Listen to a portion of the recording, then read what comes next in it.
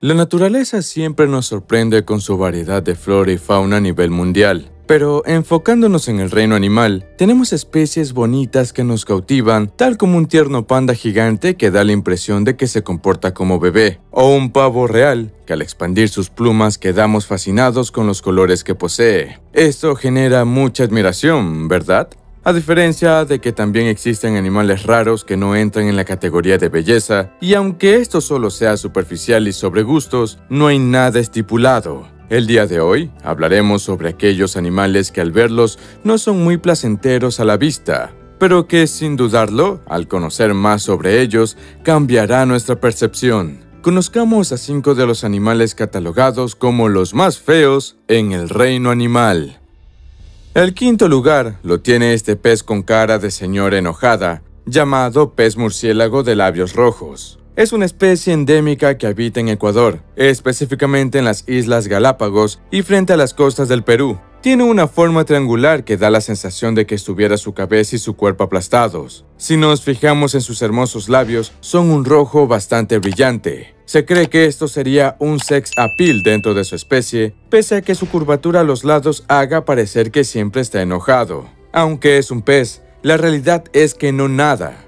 Solo se arrastra por la arena gracias a una pequeña aleta debajo de su cola que tiene forma de hélice adicional a sus aletas pectorales y pélvicas. Pero si de seguir llamando la atención se trata, referente a su alimentación, este pez secreta un fluido que sirve como carnada para peces pequeños, camarones o calamares, dándole así una arma para cazar bastante peculiar dentro del reino animal.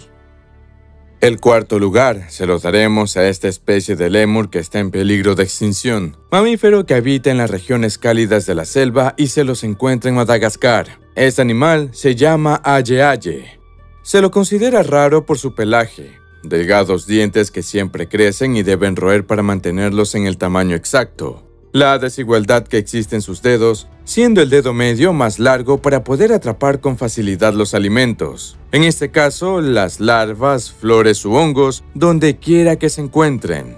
Al ser un animal nocturno, posee un olfato y vista muy desarrollado que le facilita la supervivencia. Podrá ser pacífico, pero a la vez territorial, tanto así que emite sonidos vocales para comunicarse con otros de su misma especie. Si demostrar quién es más rudo se trata, los aye-aye entre machos se enfrentan y quien gane logrará aparearse con la mayor cantidad de hembras. En esta época de apareamiento es cuando ambos géneros pasan todo el día juntos. Lamentablemente, a esta especie la relacionan con supersticiones, habitantes de Madagascar creen que ellos representan el mal, y por eso cuando se encuentran con uno, le dan la muerte directa. Las creencias mal infundadas causan un efecto negativo también en el reino animal, contribuyendo a que existan menos ejemplares de esta especie, causándole así un grave peligro de extinción. Tiburón duende, o también conocido como tiburón goblin, es a quien vamos a ubicar en el puesto número 3, este narizón pudiera recordarnos a criaturas míticas o leyendas urbanas como el monstruo del lago pero a diferencia de estos cuentos, el tiburón duende es completamente real. Se dejó ver por primera vez en la costa este de Japón en 1898. Le encantan las aguas profundas y al estar en densa oscuridad utiliza los electroreceptores que le proporcionan su larga nariz para detectar a sus presas. Esta es una habilidad que solo poseen criaturas acuáticas ya que el agua es mejor conductor eléctrico que el aire. Otro dato curioso es que para poder flotar y acercarse a su presa sin que lo sientan, este tiburón hace uso de su enorme hígado rico en aceite que lo transporta sin hacer tanto esfuerzo, y una vez captura su presa usa su larga mandíbula con dientes afilados y potentes para darle el mordisco mortal. ¿Te imaginas poder comer un alimento que esté a 15 o 20 centímetros delante de tu nariz? Sería increíble, ¿verdad? Pues el tiburón duende sí lo puede hacer gracias a su mandíbula protrusible que está unido a unos ligamentos elásticos que le permiten sobresalir unos 8.6 a 9.4% de la longitud total de su cuerpo. Así que no existe impedimento para él. Si su presa está a una distancia prudente, su mandíbula se encarga de ello.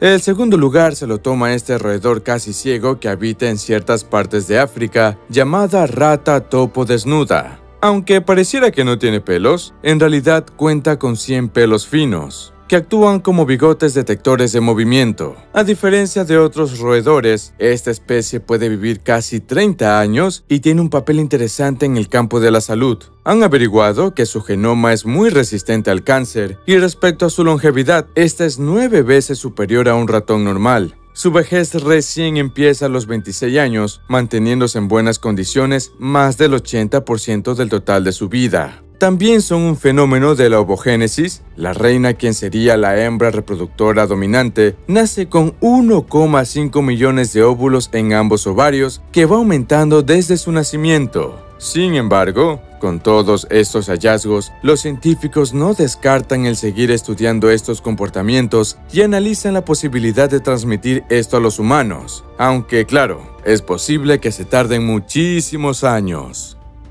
Sin duda, quien se toma el primer lugar es este particular pez que habita en los mares australes de Oceanía. De apariencia como bola de baba, tiene una pulpa pegajosa que le permite mantenerse flotando en las profundidades. Y al estar diseñados para no moverse, ya que posee muy pocos músculos, su alimentación se basa en lo que se cruce cerca de ellos, sea un caracol o un crustáceo. De otra manera, no comería jamás. Lo interesante de esta especie es que realmente no es así. Cuando se extrae a la superficie, la falta de la presión atmosférica causa que se hinche y se vea más triste, y ¿quién no se pondría así si lo sacan de su hábitat? Aún así, ganó como la criatura más fea del mundo mediante una encuesta realizada por la Sociedad de Preservación de los Animales Feos, con sede en Gran Bretaña, institución misma que busca proteger a la especie.